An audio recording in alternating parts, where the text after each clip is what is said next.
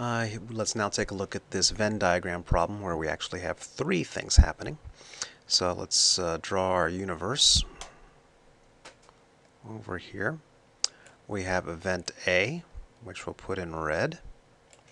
And to make the picture hopefully a little bit clearer, let's put event B in blue. And event uh, C we'll put in uh, blue. So C is in blue. Uh, B is in green. I might have misspoken earlier. And event A will be in red. Okay, now let's start entering the information here. So A intersect B intersect C, the chance of that happening is 0.05. So that goes here in the middle where everything happens, 0.05. Uh, A intersect B is given to be 0.08, so this area of, or the probability of this slice is 0.08, which makes this bit 0.03. A intersect C is this part here. The total has to be 0.09, which makes this part 0.04. Um, B intersect C is 0.13, so the sum of these has to be 0.13, so this makes 0.08, so that we get a sum of 0.13 here. And finally, the area of point, or the probability of A is 0.14. We already have these slices here, so let's see, 0.03 here. The middle is 0.05. The next one is 0.04.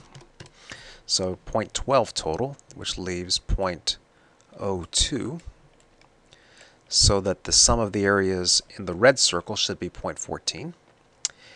For the green circle, we've already drawn out 0.03, and then the next one is 0.05, and then the next one is 0.08.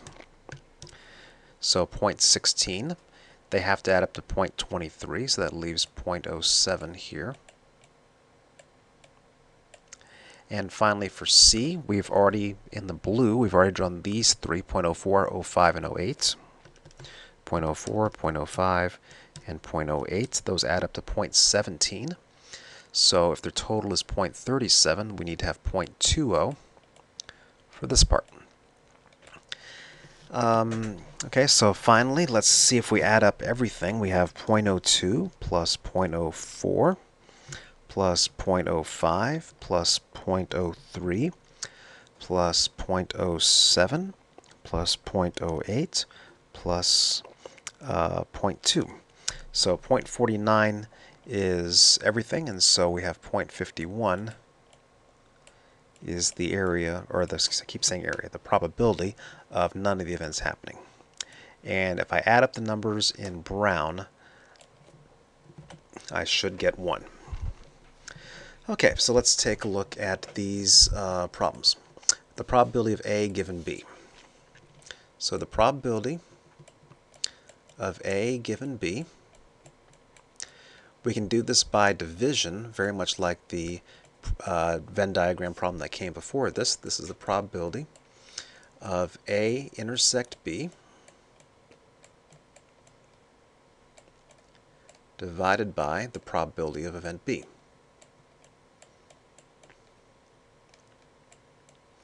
If I multiply the probability of B times the probability of A given B, then I get the probability of A and B. So the probability of A given B can be found by division.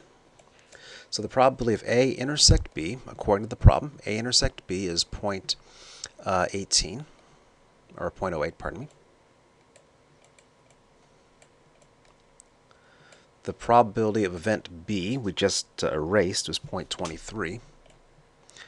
And so the answer is going to be 8 23rds.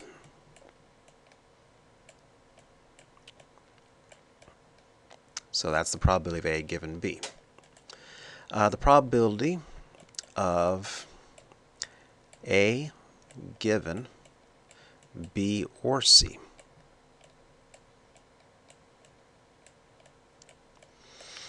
Okay, so let's be very careful in how we write this. So this is going to be the probability of a intersect either B or C. More on that in a little bit. divided by the probability of B union C.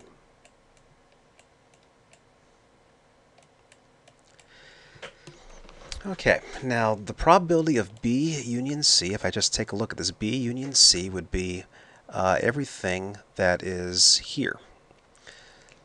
So if I take 0.07 plus 0.03 plus 0.05 plus 0.08 plus 0.04 plus 0.20, that's going to be the probability of B union C. So if I just add them up, 0.07 plus 0.03 plus 0.05 plus 0.08 plus 0.04 plus 0.20 adding up these 1, 2, 3, 4, 5, 6 numbers, I get the, the probability of B union C is 0.47.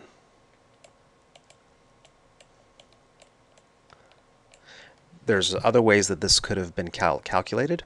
Uh, we see that we have 0.02 here and 0.51 for 0.53, so everything else has got to be 0.47.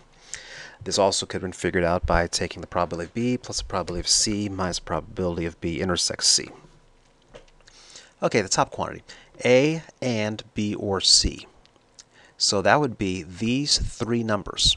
It must be an A, and it also must be in either B or C. So that's these three numbers here. So 0.03 plus 0.05 plus 0.04. So adding those together, we get 0.12. So the answer works out to be 12 47ths. So this means the this symbol means must be an A and it must be in either B or C someplace. So that would be these three numbers here. Uh, part 3. Probability of A given at least 1. So the probability of A given uh, at least 1.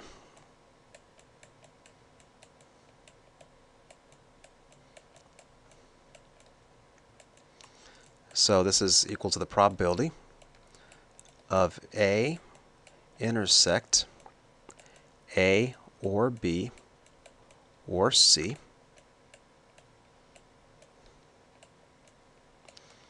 divided by the probability of A or B or C. Okay, the bottom is 0.50 uh, is 0.49. We worked that out earlier. Adding up all the numbers in brown in the picture. The top says it must be an A, and it must be either an A, B, or C. Well, that's redundant. If it's an A, then it's an A, B, or C. So the top here is really the probability of event A all by itself, so 0.14. If it's an A, it must be an A or B or C.